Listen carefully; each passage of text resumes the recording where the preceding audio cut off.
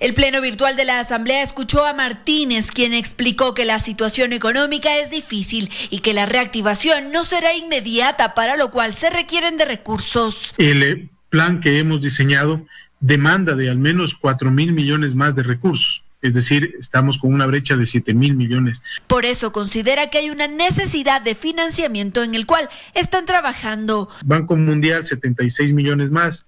BID 250 millones más y CAF 440 millones más. Esto ya está confirmado. Nosotros esperamos que la mayoría de ellos vayan concretándose en mayo. Mientras tanto, esperan que esta semana lleguen 123 millones de dólares por parte de organismos multilaterales para el sector de la salud. También consideran que se debe realizar la renegociación de la deuda. Tiene que hacerlo.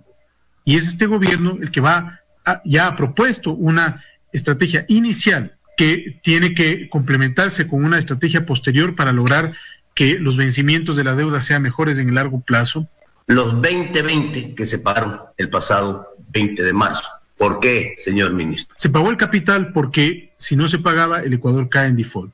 Explicó que enviarán la ley de emergencia y un proyecto de reformas al Código de Finanzas Públicas. Están abiertos a cambios en el legislativo. Que el hecho de que nosotros eh, establezcamos que se debe hacer una contribución en este momento, a pesar de la complejidad, es porque el Estado no tiene la capacidad de, de inyectar esos recursos y estamos haciéndolo de una manera solidaria, contributiva, de los, más, de los que más tienen a los que menos tienen. Se pueden hacer excepciones, por supuesto, eh, y eso la ley también establece para que queden a, a, a reglamento y a decreto. No mencionó una fecha de cuándo podría llegar el texto al legislativo.